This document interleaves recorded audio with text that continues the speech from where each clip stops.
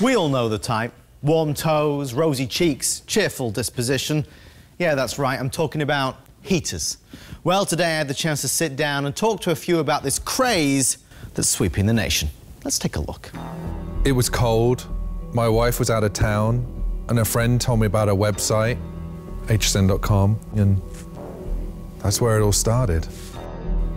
I never thought I would be the type to to use it, but then one day I felt it. It all started in childhood with a with a doll set that came with a fireplace. Teenage years were rough. I started with flames.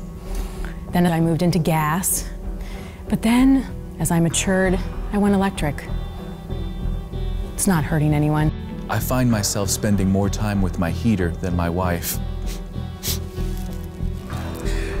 and I'm not proud of that. But it feels good. I got one for my best friend, and now we're all doing it. Even my mom has one.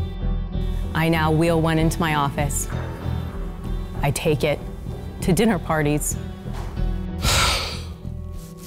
I want heat. Shh. It's okay. I just want to be warm. Is that wrong?